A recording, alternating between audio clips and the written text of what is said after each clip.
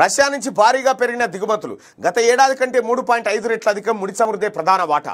యుద్ధ పరిస్థితులకు అనుకూలంగా మలుచుకున్న కేంద్ర వాణిజ్య శాఖ అంటూ ఒక వార్త. ఇక తీరుమారని డ్రాగన్. తాజాగా గ్రే జోన్ గ్రే జోన్లో వైమానిక విన్యాసాలు హైమార్స్ తరహాలో భారీ క్షిపణులు. ఇప్పటికే పరీక్షలు పూర్తి రేంజ్ ఐదు వందల కిలోమీటర్లు. భారత సరిహద్దు మిలిటరీ స్థావరాలే లక్ష్యం.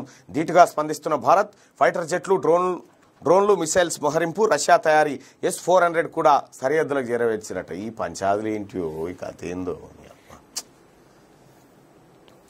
మొలకలోనే మునక. పత్తిని మించిన వానలు రైతులు కోలుకోవడం కష్టమే. నలభై మూడు లక్షల ఎకరాల్లో సాగు తొమ్మిది లక్షల ఎకరాల్లో దెబ్బతిన్న పంట. గత రెండేళ్ళలాగే ఈసారి దిగుబడి తగ్గుతుందనే ఆందోళన. మరోసారి విత్తుదామంటే అదును దాటిపోయింది. ప్రత్యామ్నాయ సాగే శరణ్యమని సూచిస్తున్న శాస్త్రవేత్తలు వ్యవసాయ శాఖ డెబ్బై ఐదు లక్షల ఎకరాల సాగు లక్ష్యం అసాధ్యమే. రైతు బంధు తప్ప ఏ ప్రోత్సాహకాలు ఇవ్వని రాష్ట్ర ప్రభుత్వం అంటూ నేను చెప్పి కుండలు పెట్టి మగోళ్ళు ఎత్తుకపోయాడు రైతులకు ఇది వరకు ఆ సబ్సిడీ ఈ సబ్సిడీ ఏది ఈ ఇన్సూరెన్స్ క్రాప్ ఇన్సూరెన్స్ ఒక లక్ష రూపాయల రుణం తీసుకున్న వాళ్ళకి కూడా ల- అదే- ఒక ఎకర భూమి ఉన్నాడు కూడా ఒక లక్ష రూపాయల రుణం తీసుకొని అంటే క్రాప్ లోన్ తీసుకొని తర్వాత రుణమాఫీ అవుతుంది. అంటే ఒక్క ఒక్క ఎకరం ఉన్నోడు కూడా లక్ష రూపాయలు లబ్ధి పొందుతుంది లబ్ధి లబ్ధి పొందుతుండే. లక్ష రూపాయల రుణమాఫీ కథం అయిపోయింది. ఇక్కడ ఇచ్చింది ఏంటి ఐదు రూపాయలు లక్ష ఇస్తారా బ్యాంకులో ఒక ఎకరం ఉంటే?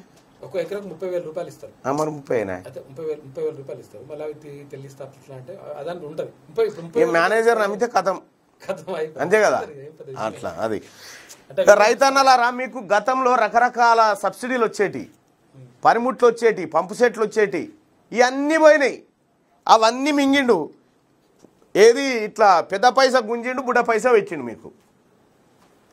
మాటికి ఇచ్చేసి లక్ష రూపాయలు కూడా ఇస్తారు. ఇస్తారు. మాటకి ఇస్తే ఇస్తారు.